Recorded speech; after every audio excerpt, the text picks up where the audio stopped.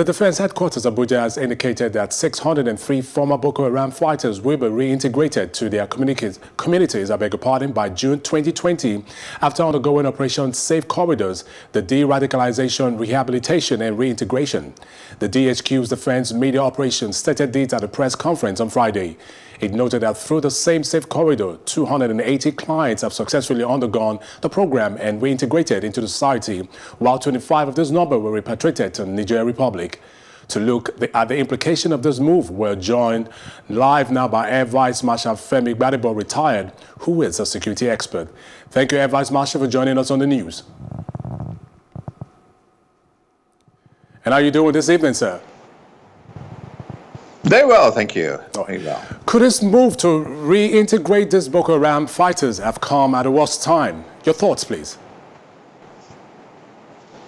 Um, I, th I think we have a problem um, at the defense headquarters level and also at the federal government level.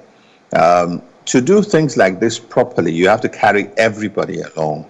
Um, the last time a number of them were rehabilitated after having been trained or uh, we have not heard anything. There's no follow up on them to show that they've actually been uh, good citizens in the country and so on. Now, another group have come out. And even uh, at a time like this, where there's lockdown, where there's COVID 19 and so on and on, um, it's not exactly good to say people should stay indoors, lock their houses, and then you release uh, some elements into the environment without proper information as to what has been done. I think there is a lot more that uh, uh, the relevant agencies need to do to carry, especially um, other, the rest of the country, the southern part of the country, along with them. Interesting you just said for the other parts of the country, especially the southern parts of the country to be carried along. Now, many people have argued and put forward that the government seems to be very insensitive. Um, how do you react to this when it comes to this development? Well, eh, like I said, insensitivity comes across to you when uh, fears are being raised and certain parts of uh, the government and the defense fail to allay these fears. And they just continue to carry on with their own program, which seems to uh, not quite make sense to the rest of the country. You see, de-radicalization is a very complex program. Um, when you have an armed robber, he goes to prison, you punish him, he comes out, he may learn not to be another criminal again. But in the process, he may meet people who will even convince him and show him ways uh, to survive, and then he comes out a worse criminal. That's what's been fun about the, you know, the, you know, prison system. Now, radicalization is being done somewhere else. Now, somebody's mind has been taken over. Religion is a very powerful opium that some people take it and uh, you just can't get it out of them.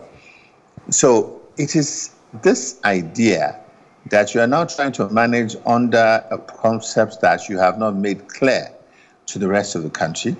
And you are taking it as just another, you know, school program. You bet them some uniforms, you feed them well, and then you talk to them. And you see, there are people in this country, even military uh, families, I won't even talk about men, I'll talk about families, whose husbands were you know, brutally eliminated, gruesomely eliminated by these chaps. And so you're now saying that by just keeping them somewhere for a few months, a couple of months, they've now become good citizens and they're not going to be punished. You see, crime and punishment go hand in hand. And people need to see that uh, those who committed some crime have. That's why even in South Africa, we had the Truth and Reconciliation Commission, where people come out and actually um, offer apologies and actually show remorse for that which they did in the past. We're not getting this from this group of gentlemen who are suddenly being treated with kid gloves and are going to be rehabilitated and whatever that means, because rehabilitation is not just sending him to his village, it means that you are probably going to give him some stipend and every other thing like that. Meanwhile, the soldiers who are fighting are still fighting. We need to be very careful about this.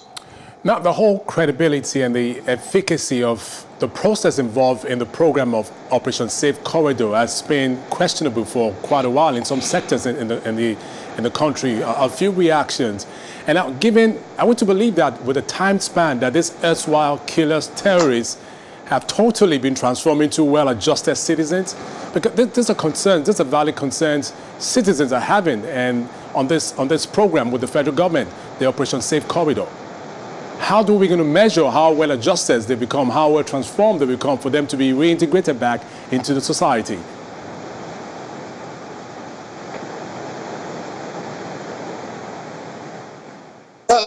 That's, uh, that's what I'm saying. Uh, it is not enough for, uh, let's say, the Ministry of Defense to say they are satisfied.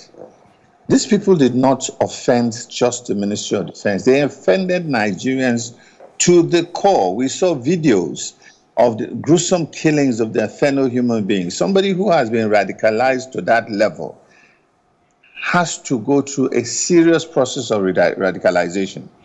We've seen people who, who get hooked on drugs and then they go for rehabilitation and they still go back to it. We see all kinds of crimes being taking place. Now, this uh, when you get to that level when you can slaughter human beings in cold blood in the name of religion. You've gone to a level of radicalization that has that is not going to be easy to just um, wipe off like that with lectures and um, whatever it is they were doing there. So it is the Ministry of Defense that needs to come out and even show the Nigerian public what exactly they did in this process of radicalization, um, and that has brought in these issues. We, if we go to the United States, and when we go to um, some of the people they're holding, the United States, um, they're, they're holding some people for years. You know, they're holding some radical elements for years until they can get things properly identified and sorted out. Uh, I think the, there's some rush that um, we need to be wary of. The, the war is on, it's not over yet. And we know of sleep agents. The sleep agents are people who have been programmed to go and just fit into society until a time when they are called back into action. And the call back into action can be as simple as a recitation of something on radio, on television, and then they're back into action. And now they're behind the fighting lines. So you have your troops in around, you know, the Maiduguri axis trying to fight Boko Haram, and you have some other people behind them who can just wake up one day and begin to take their own from the rear. This is this is these are my fears, and I think uh, the fears of a lot of people who are talking against us. Finally, AVM, do you think this might boomerang and the federal government might end up re regretting this move? Um, anything is possible. Anything is possible. You see, when you're, you're um, even when we go back to First World War, Second World War, and so on, when you when you take on a group of people, a certain and you capture them, you hold them in abeyance until the end of the war, and then you decide on what to do with them. But this is an ongoing crisis that has taken like forever to to resolve, and so that's the question why the rush to release these people? Um, to my mind, I pray it doesn't, but then uh, it doesn't look good to me. Retired Air Vice Marshal Femi Gbadebo, thank you for your time and for your contribution on the news. Thank you.